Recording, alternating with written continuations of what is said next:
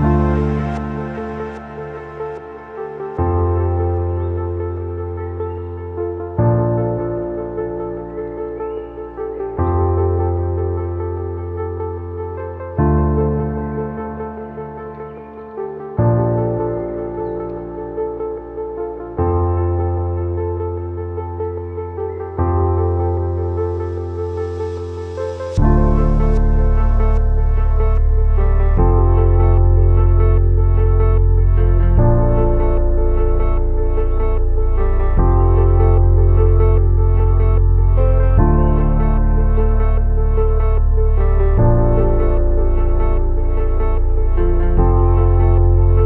ఈరోజు నందిపేట మండలంలో వివిధ గ్రామాలకు దాదాపు ఒక నూట ఇరవై లబ్ధిదారులకు కళ్యాణ లక్ష్మి షాదీ ముబారక్ చెక్కులు రావడం జరిగింది.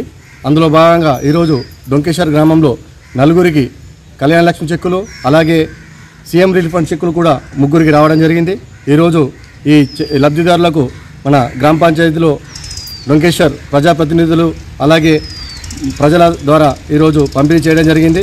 ఈరోజు తెలంగాణ వ్యాప్తంగా మన తెలంగాణ ప్రభుత్వము చేస్తున్నటువంటి సంక్షేమ పథకాలకు నిదర్శనంగా ఈరోజు ప్రతి ఒక్క లబ్ధిదారులు ఈరోజు మన గౌరవ ముఖ్యమంత్రి కేసీ గారు కేసీఆర్ గారిని పేరు పేరున గుర్తు చేసుకొని రా- రానున్న రోజుల్లో ప్రతి ఒక్కరూ మన తెలంగాణ ప్రభుత్వంకు అండగా ఉండాలని చెప్పి తెలియజేస్తూ అలాగే ఈరోజు భారతదేశంలో ఎక్కడా లేనటువంటి సంక్షేమ పథకాలు గౌరవ ముఖ్యమంత్రి కేసీఆర్ గారు ఈరోజు మన తెలంగాణ ప్రభుత్వంలో ఇవ్వడం జరుగుతున్నది. రైతులకు ముఖ్యంగా ఇరవై నాలుగు గంటల కరెంట్ అయితేనేమి రైతు బంధు అయితేనేమి రైతు బీమా అయితేనేమి ఇలా చెప్పుకుంటూ పోతే అనేక సంక్షేమ పథకాలు వృద్ధులకు ఆసరా పింఛన్లు అలాగే ఈరోజు ఇంకా చెప్పుకుంటూ పోతే ప్రతి ఒక్క ఇల్లుకు ఈరోజు గడప గడపకు ఏదో ఒక రకంగా సంక్షేమ పథకాల ద్వారా ప్రతి ఒక్క కుటుంబము ఈరోజు లబ్ధి చేకూరడం జరుగుతుంది.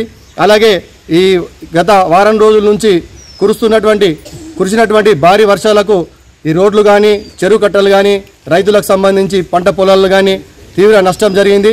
అందుకు మన వ్యవసాయ అధికారుల తరపున కూడా ప్రతి ఒక్కళ్ళు అధికారులందరూ గ్రామ గ్రామానికి తిరుగుతూ వారు పంట నష్టపరిహారం గురించి సర్వే చేయడం జరుగుతుంది.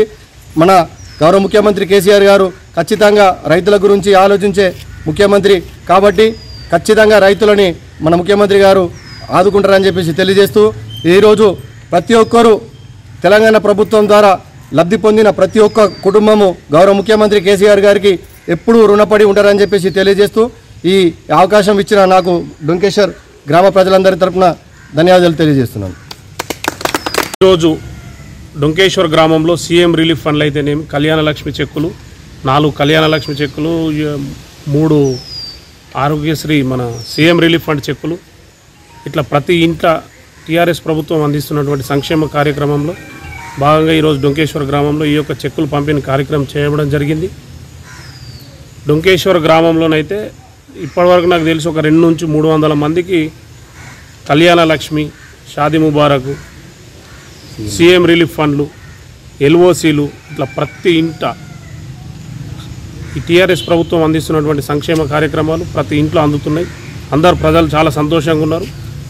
ఈ రాబోయే సంవత్సరం తర్వాత ఎన్నికలని ఈ ఎన్నికలకు ప్రతి ఒక్క డొంకేశ్వర గ్రామంలో ప్రతి పౌరుడు టీఆర్ఎస్ ప్రభుత్వంకు మద్దతుగా ఈ సంక్షేమ కార్యక్రమాలు లబ్ధి పొందినటువంటి ప్రతి గ్రామంలో ఉన్నటువంటి ప్రతి యువకులు కానీ రైతులు కానీ అందరూ రాబోయే ఎన్నికల్లో టీఆర్ఎస్ ప్రభుత్వంకు పూర్తి మెజార్టీ మేము డొంకేశ్వర గ్రామంతో ఇస్తామని తెలియజేస్తూ